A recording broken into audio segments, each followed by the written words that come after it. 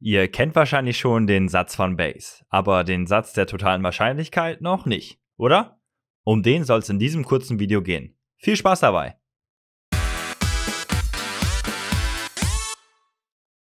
Wenn ihr den Satz von Bayes und den Satz der totalen Wahrscheinlichkeit kennt, dann habt ihr so ziemlich alle Tools, um Aufgaben mit zweistufigen Zufallsexperimenten zu lösen.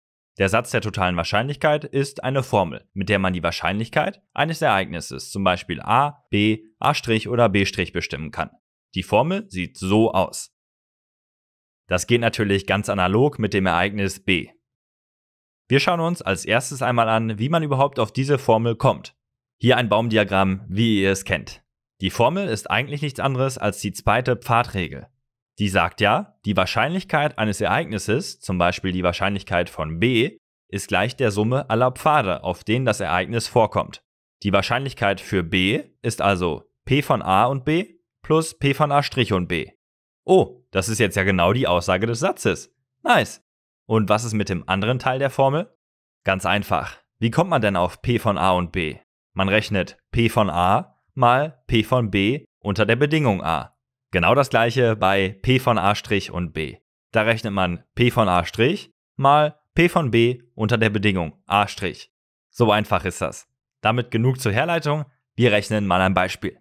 20% aller Menschen rauchen. Zu 5% ist man Raucher und kann gut singen.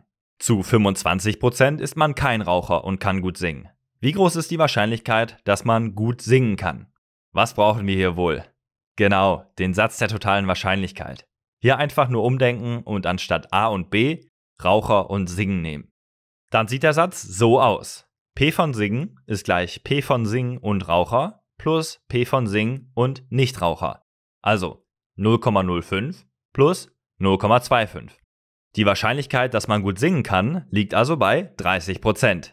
Ja, das Beispiel war nicht so schwer, das stimmt. Schwierigere Beispiele, die rechnen wir in unserem Beispielvideo mit euch. Nehmt aus diesem Video hier folgendes mit. Den Satz der totalen Wahrscheinlichkeit benutzt ihr in der Schule im Zusammenhang von zweistufigen Zufallsexperimenten. Mit ihm könnt ihr die Wahrscheinlichkeit eines Ereignisses A oder B bestimmen, beziehungsweise A' oder B' natürlich auch. Dazu braucht ihr einfach nur diese Formel hier. Wenn ihr mal nicht drauf kommt, könnt ihr die auch ganz einfach an einem Baumdiagramm selbst herleiten. So viel erstmal von uns. Schaut auch gerne in unserem Beispielvideo vorbei. Und wenn euch dieses Video hier gefallen hat, dann lasst uns gerne ein Abo und einen Besuch auf unserer Website da. Bis zum nächsten Mal.